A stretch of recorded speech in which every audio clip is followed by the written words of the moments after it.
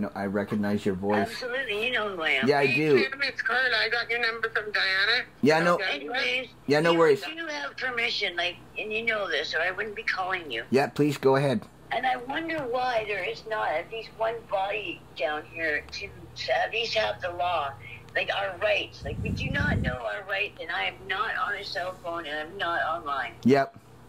They snag me every morning. They stand there and stare. Like I know it's because I'm I'm by myself as a woman, and my daughter, and you know we're not hard to look at. So I I get the impression that it they're just filthy, right? Every day Ah, it's just rude. that's horrible. So you're on Pandora trying to survive in a tent there? Yes, you know where we are. We're Yeah. right, where, right where that uh, native couple came. Yeah, I remember too. So are you in any shelter right now or you're just you're just in a tent? Not whatsoever. Yeah. Oh, washroom anywhere. oh my god. Um, I have not been to, like, you know, not at McDonald's or our place, and this is because when I had my little dog, Yeah. I came in with my little dog out of the rain. That's how it started, right? And of course, it just went from there with that um, French woman that used to work here that is fired now, and Natalie Yeah. is her name. So she basically got me um, barred for life. Barred for life. But he got fired, so I'm still not allowed in. So I don't understand. Like I need, like it's just gross. That's really harsh because you're barred for life from our place. Yeah. Unbelievable. It's just unbelievable. I'm not You the only one. Yeah, I know. allowed to use the washroom or get water or eat from there either. Like I used to be able to, but not anymore. You can't hold back uh, donated food from people. Not anyone. Not anyhow or any way. So I don't understand where they're getting their rights from and why I can't get any help with this issue.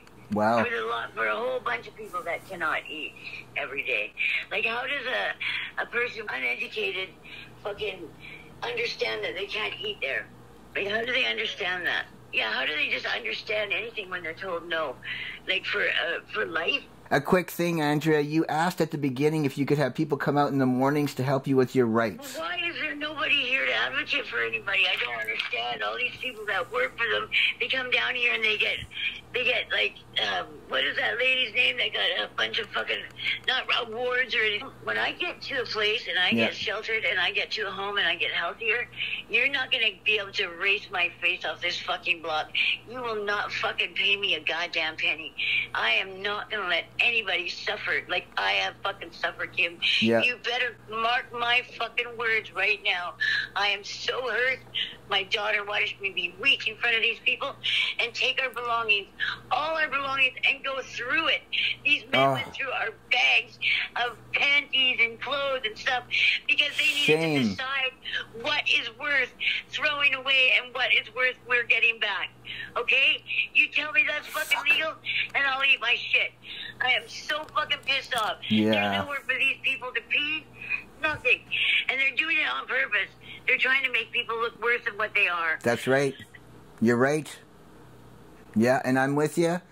I am going to get on this right away. Many years of a single woman, just fucking beside myself as these men are staring.